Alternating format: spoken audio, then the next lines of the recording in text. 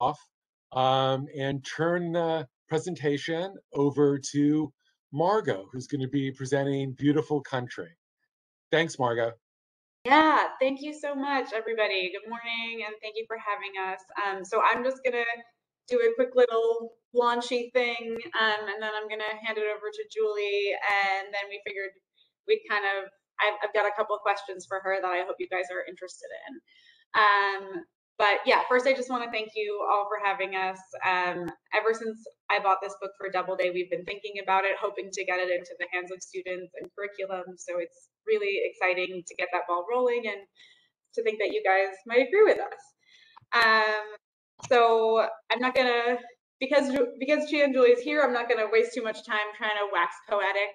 Um, for my purposes, I'll just say that Beautiful Country is the story of Qian Julie's coming of age over the five years from ages 7 to 12 that she and her family lived undocumented in New York City after immigrating from China in 1994. So what immediately caught my eye when I read Beautiful Country on submission was the voice. I mean, that's what always catches your eye. But specifically, it was the way that Julie had so brilliantly mastered the childhood voice. And that's notoriously difficult. I've turned down hundreds of books where it's been done poorly, unfortunately.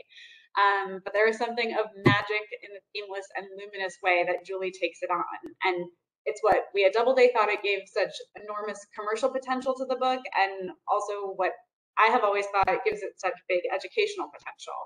So first, Qian is as charming as Harriet the Spy or Scout Finch. She's curious and mischievous and a little bit petty when a bully calls for it, and smart as hell. Like all good classic narrators, she will make herself at home in your heart. And I truly believe that this book is a soon to be classic. I, I think it's written to that quality. But perhaps more importantly, in a memoir about immigration and specifically undocumented status, a child's voice does something really magic, which is that it allows for clarity and accessibility and empathy around a topic that has been debated beyond the dehumanization of its subjects. So when I think about Beautiful Country, I actually have finally started thinking about the cover of Educated, which I'm sure you all know very well, the little girl looking up at the silhouette of the giant pencil that is education, a mountain, whatever.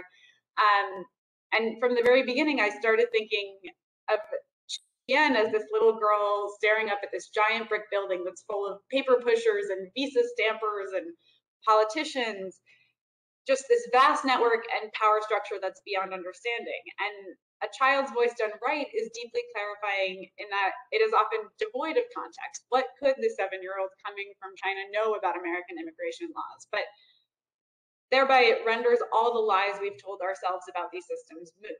So with Beautiful Country, Qian Julie has managed to write a book about a child looking up at a country from beneath it because the country has told her that that's where she belongs, despite possessing exactly what she needs to feel safe and succeed. So it's a book that you enter on the ground floor, no matter where you already sit on the political spectrum or the knowledge spectrum. And to me, that's a power that really can't be underestimated.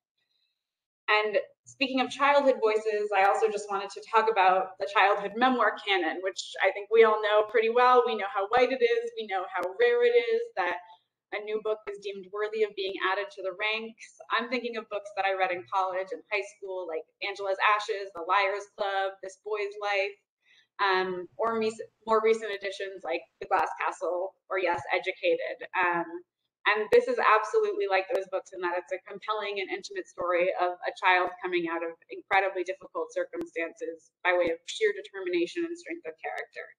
And thanks to Qian Julie's incredible writing, line by line, I think you would have no problem, you know, placing this in creative writing classes or memoir classes.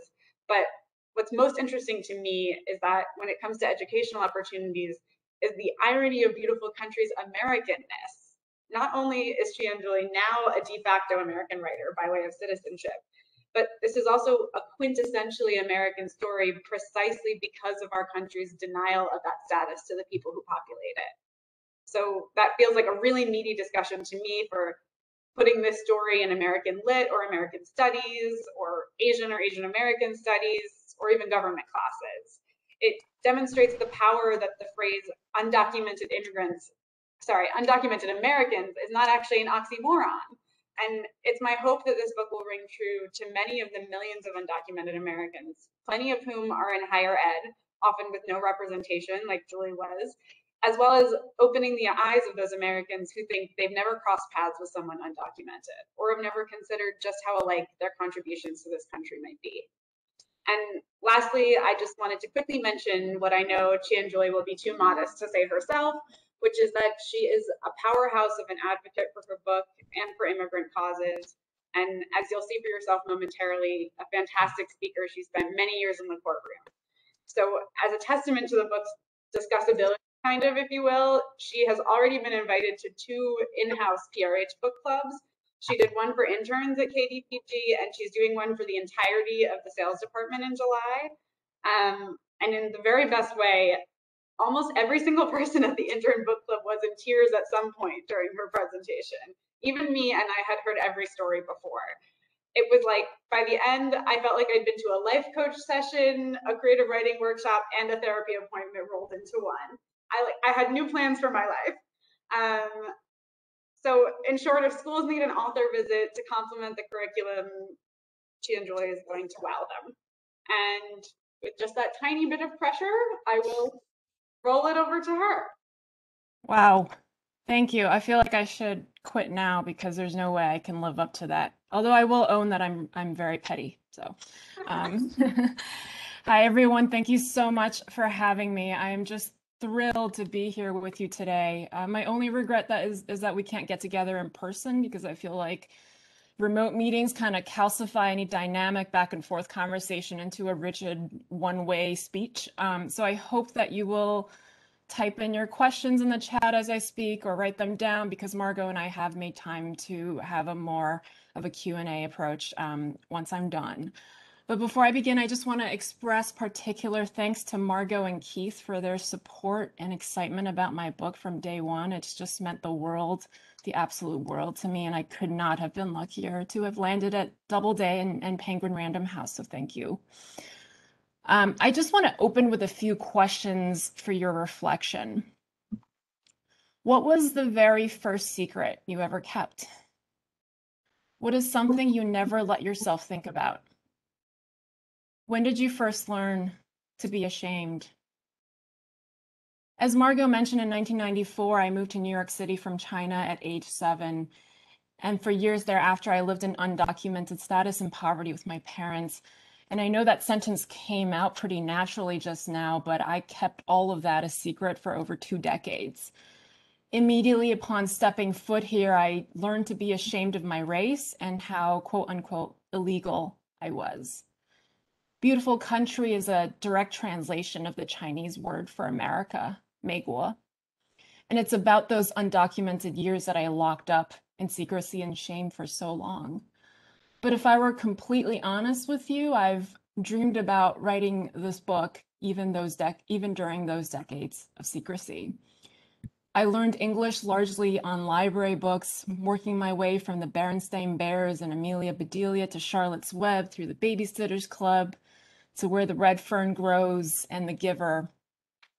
But in all of my beloved books, both the ones I discovered in the library and the ones assigned to me in the classroom, I saw no one like me living the life that my parents and I lived in Brooklyn. And as a kid, I wondered aloud if we were the very first people to have lived like this. I also dreamed about finding a book that might show me that someone else had done this and made it out okay. And res- in response, my mom never failed to remind me that that was going to be me. And that was the thing about my parents and about what really got me through those years. No matter how hungry I was, my mom never failed to remind me that it was all temporary. And no matter how scared we got, my father never stopped trying to make me laugh. And luckily, in our situation, it was all temporary, but the shame of our secret was not. I have spent so much of my adult life thus far running from my childhood, lying about my past, burying my sense of self, hoping to find in that charade something that might finally validate my belonging and my worth. I grew up in a society that excised people like me from textbooks, from history class, from television, and from the literary canon.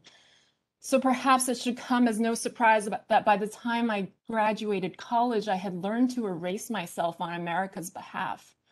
I started pretending I'd never been undocumented and acted like I wasn't an immigrant at all. Something about the books I read and discussions in class and the insistent absence of people like me taught me that there was something deeply wrong, deeply shameful and abnormal about me.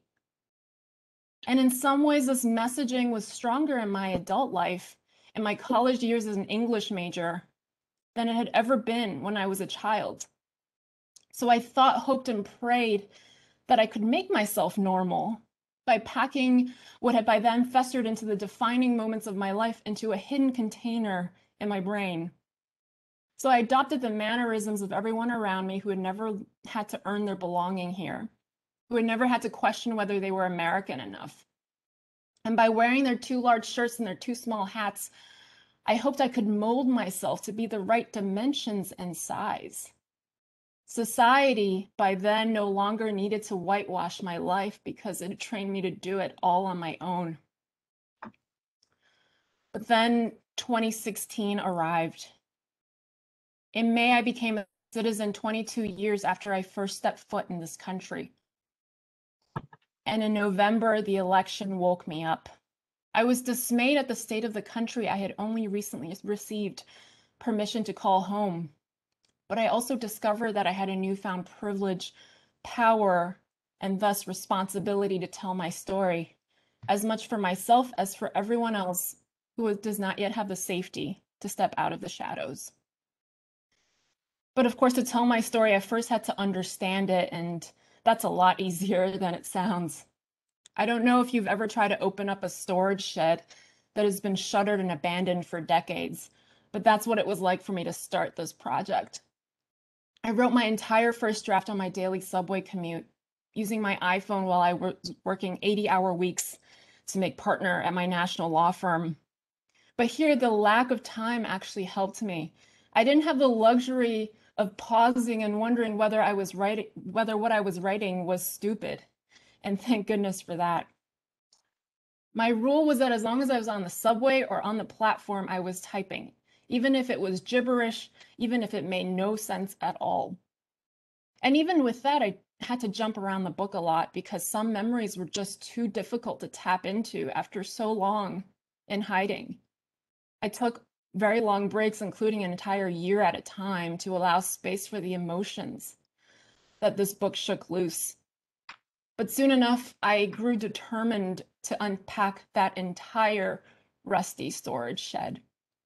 I did it first by removing the easier to reach items, the happier memories, my first time tasting pizza, discovering the stray cats of Brooklyn, me dancing with my father, my little feet on his bigger feet, swaying to the song that he had written for me in the language he made up just for us. And in time, I was able to live it all again.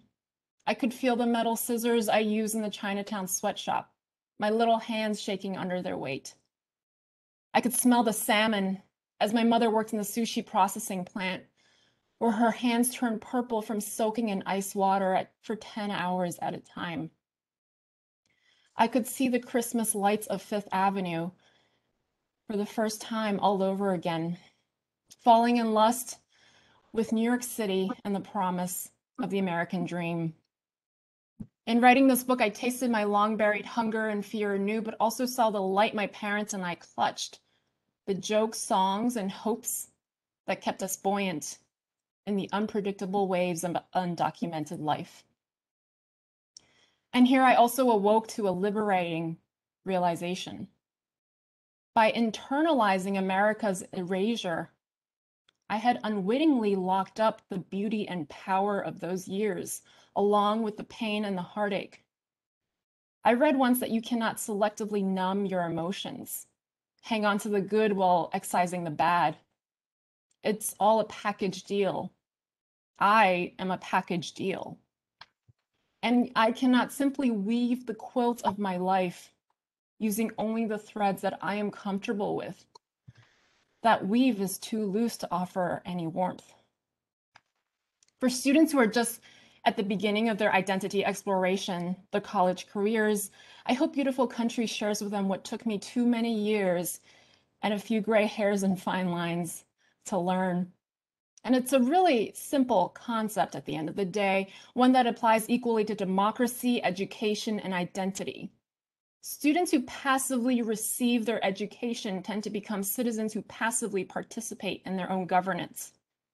And those who are too busy running away from something usually have no control or even idea of where they are heading. I tell you this, of course, not from judgment, but from firsthand experience. In the classroom and media, questions are as important as lectures and messaging, and omissions are as powerful as inclusions. And in life, what we never talk about, never dare to think about ourselves, is just as defining, and I dare say more so than that which we readily embrace. But my memoir is not just this message. It is more than anything a journey. It's not a letter but a train ride. Beautiful Country is an exploration of what it means to make a home in America and most of all, within ourselves. And perhaps even more than an immigrant narrative, it is a return to that wondrous and terrifying time of childhood. Back to that time when we were all still tender and open, still new to the armor and mass and shame that the world demands of us. This book is a voyage into the love, pain, and secrets of family, a flight through the confusion, resilience, and delight of coming of age. In the vein of Angela's Ashes, which made us laugh through its heartache, Beautiful Country embarks on a special excursion into the childhood wounds, love, and laughter that hold the key to our adult selves and to the freedom that lies beyond the jaws of the past. And I do hope you'll join me on that journey. Thank you so much. Thank you, Gina. As I said, really good. She maybe should have been an actress also. Um, but so, you know, for you guys, higher ed people, I wanted to make sure that Julie kind of gives you the trajectory um, of her time after the book ends. So can you tell us where you ended up? Sure. Yeah. So the book ends when we moved to Canada um, and I graduated, went through uh, the rest of junior high and high school in Canada. And Canada, obviously, I think is um, perhaps rightly concerned about brain drain. They're very worried about their students going to the US, but I was determined to come back here and live out my American dream. Um, but I have very little information as to the world of elite colleges in the US much less how to get there. Um, I found out that the last administration of the SAT 2s, which I didn't even know existed, was happening a week from when I first discovered their existence. So I remember bawling and crying and then finding a way to register myself and then studying for a week and taking all three SAT 2s at once. And that was um, fairly traumatic. But the culture shock was even bigger once I got to Swarthmore, which is where I went, ended up um, it turned out there was a whole world of people out there that I didn't realize existed, a whole world of uh, elite elite schools like Andover that I never even heard of.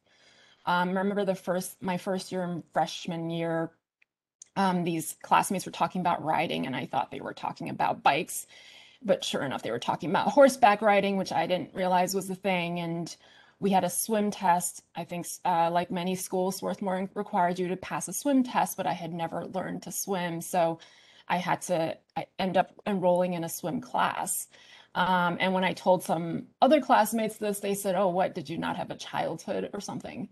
And I don't remember even the names or the faces of people who said that, but that statement lived with me, has lived with me since. Um, but the swim class actually ended up being good because it it's naturally selected all of the inner city kids and the immigrant kids who had never learned to swim. So it, it gave me a, some sense of community, um, in addition to not helping at all with my fear of water. So I never, I did graduate, but I never learned to swim. Um, but I was an English major from the get-go. I went into a first year honors uh, seminar on Jane Austen. I go into class, it's like eight students and one teacher, which I'd never been in such an environment before. And the professor asks us to do a close reading of a passage from Pride and Prejudice. And everyone immediately looks down and starts doing whatever a close reading is. And I'm just looking around being like, I have no idea what she's talking about. I don't know what those words mean. I've never heard that together in my life. I didn't know what a thesis was. I was so woefully underprepared. The only thing that helped me was that I didn't know how underprepared I was. Um, and I was lucky to be at a small school where, te- where the professors actually ca- really cared about uh, teaching. And that specific professor called me in after class one day and said, let's talk about what you learned in high school and didn't make me feel ashamed at all or that there was something wrong because I was still not, it was still not clicking with me that I was missing a huge part of the information I should have received in high school. And she just met with me regularly every day for months, just catching me up, getting me to where I needed to be. Um, and in so many ways, that first year of college was very much like my first year in America, where I didn't understand the language people were speaking or the mores and and systems that were around me. The other memory I have of that first year is going in to meet my advisor, who was supposed to guide me through college. Um, but we didn't know each other. He knew me only from my file, and he said, "What do you want to do when you graduate?" And I said, "I want to go to Harvard or Yale Law School." I had known that from when I was age eight and read about Thurgood Marshall and Ruth Bader Ginsburg, and he laughed in my face. He said, Those schools are superstars. Are you a superstar? And I took that to be an actual question. I was like, Yes, I am. And he's like, No, you're not. Look at your record. You're not. Um, and if I could count the number of times, I got a penny and every time someone told me I was not outspoken enough or assertive enough or creative enough to be a, a litigator before I went to law school, I would not have needed a scholarship to go to law school. And if I got a penny every time after I became a lawyer, a colleague came to me to ask to make their arguments more aggressive, more creative, asked me to step into their court arguments, I would not need to work. So it, it, thankfully for me, I was a very much a stubborn child who said, if you tell me I can't do something, I'm going to prove you wrong. Because if I didn't have that, um, and I, I, think it came so much from my mother telling me that I could do just about anything I wanted. If I didn't have that, I think I would have given up um, partway through Swarthmore. Um, and I think a function of being an Asian woman, being an immigrant, is that people lock you into these boxes. Like maybe you can be good at math, but you can't possibly write this well. And time and time again in, in high school and elementary school, in my book, I recount an incidents teachers accused me of plagiarism because there was no way I possibly could have written this well. I had a supervisor at my job who said that there's no way this you wrote this brief and I was like then where did I magic this brief out of? This is specific to this case. And these ideas that trap students into what they can and cannot be are so incredibly oppressive and if we could liberate I guess, our students into thinking about what they're not told about themselves and what they don't read in their curriculum. That is one way, I think, out of these rigid boxes that we all kind of end up locking ourselves into. I probably have spoken too much in response to this question because I know there are other questions. So I'm going to stop here. Um, yeah. I definitely want to give everyone to ask you questions. So I just want to say really quickly, what is it that you're doing? You changed your profession basically since us buying this book and the publication, what are you doing now? Yeah, I think writing this book reminded me of the reason I went into law, which was to be the RGB and Thurgood Marshall for immigrants. And I strayed very far away from that in my whole running from my past and pretending I was white and all of that. And I, I don't know, somehow made it in my head that I had to become partner at a firm. And the minute I became partner, I was probably the most depressed I'd ever been because I was like, wait, what am I doing? This is not what I set out to do at all. What I set out to do was to help children, to help immigrant children. So that's exactly what um, I'm doing now. I opened uh, my own firm focusing on education law, um, assisting children who need special accommodations um, through K through 12 and also um, with the ability to represent students in universities um, and employment against discrimination. So it's been thrilling and completely terrifying to to take this course, but I uh, course and trajectory in my career. But I am very hopeful that the ex experience and expertise I've developed in the corporate world will will be able to guide me here as well. Yeah, and we could tell you a million other things, but I know we're coming up on time, and I would love for you guys to ask questions if you have any.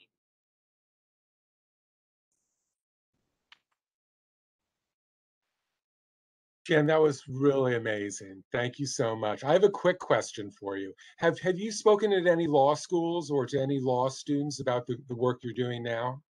Yes. So I spoke recently to the Northeastern University School of Law, um, and it was specifically with the affinity groups, the Asian law students, Black law students, Latino law students, a little bit about the work that I'm doing now because I think you go into these law schools and it's all about change chasing the conventional idea of success, which is going into a big firm and making partner.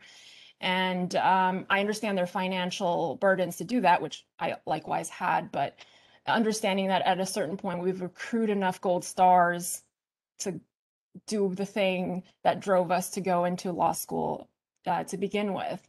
But part of um, that experience was very illuminating for me because I got to speak to current law students about the ideas and messaging that they are struggling with currently. And one one thing I noticed was that um, it, it's very much the same things that I experienced over a decade ago in, in law school.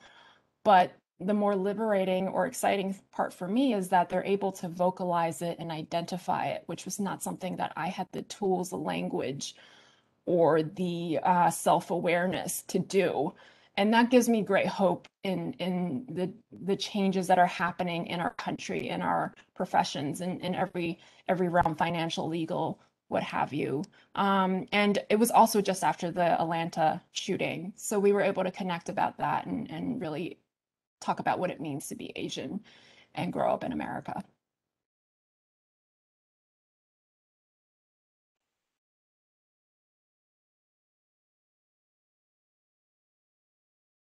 I just wanted to say thank you for sharing your book. It sounds so engaging. I cannot wait to get a copy myself. But I'd like to know, um, I often think these things when I'm working with someone's, um, well, a memoir, it's your life story. What is your hopes that we could accomplish for you in the educational um, initiatives that we do? What would be what you would deem to be successful for you? I I mean, like I said, when I went through college, even when I took Asian American literature class, there were so few stories that were told that were like mine. Um, I think the the issue of being undocumented and being a model minority are really complicated by the fact that the number two largest group of undocumented immigrants in our nation are Chinese immigrants. And that's just never talked about. Um, we are not just people who obey the laws all the time. We are not just people who are doctors and lawyers. The lowest income sector of our of New York City pop New York City's population are Chinese Americans. Mm-hmm. Many of us are on the streets collecting cans. I was on the street collecting cans, and to see a diversity of people reflected in our canon, ideally in just general literature class. Ideally, it would not have to be Asian American literature, but anywhere I think would have helped me a lot. I mean, I think about what I would have wanted as a as a fresh college freshman and just to see myself somewhere, you know, on the curriculum would have just been liberating and and whispered whispered a message that maybe I could tell my best friend about my past. That it wasn't so shameful, that there was nothing inherently wrong with me. And and, and I want to go back to this idea of omissions. I, I I would love for students to start thinking about what is not being taught to them and to really challenge that and, and in turn think about what they don't think about in their own lives because that is where progress happens it's the omissions when we focus on them where progress happens I think it's really interesting. You're tipping on something that you probably are aware of, but I think that um, we probably have lots of work to do in this country about undocumented immigrants in school, the K through 12 system and things like that. And like, as you know, the colleges are in preparation for teachers, preparation for sociologists and social workers and things like that. And so I think that you really have something powerful here to sort of convey to people. And I, I really would like to place you in that in that space for education because I think it's necessary and would be helpful for many. Yeah, I would love that. And there's so many legal rights that everybody has regard regardless of immigration status in education, K through 12 and otherwise, that immigrants just don't know about. I mean, I was I was an immigrant attorney. I didn't know about a lot of this. Um, and so just having creating that conduit of co communication and conversation and availing the resources to the communities that that have least access to it would would be wonderful.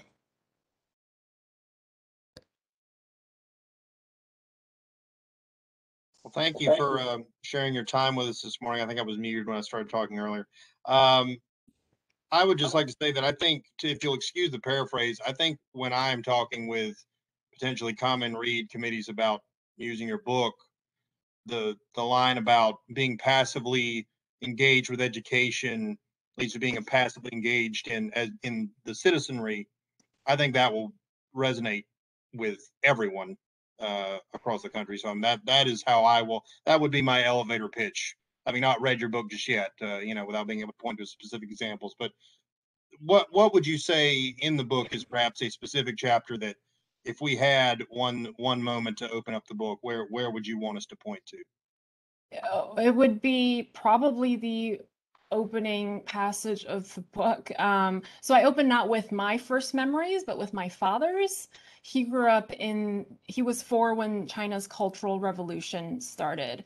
And it was 10 years of turmoil where intellectuals were persecuted, landlords were persecuted, just about everybody.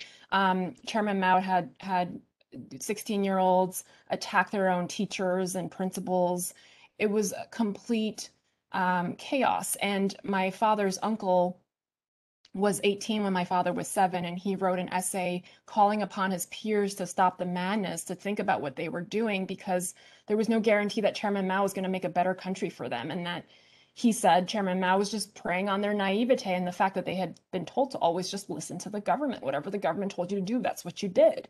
But does that mean killing your teachers, which is actually what happened?